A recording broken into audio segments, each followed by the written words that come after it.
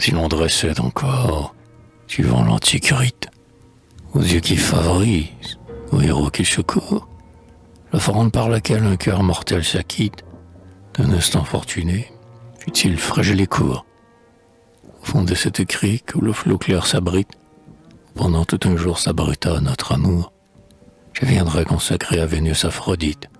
une stèle de marbre au doux et pur contour. Et, sous les mots votifs et la double colombe, je voudrais qu'on gravât mon nom près du tien, afin, lorsque nos corps seront pris par la tombe, qu'il reste un souvenir de notre amour ancien, et que ceux qui vivront sur ce bord enchanté unissent nos deux noms et sachent ta beauté.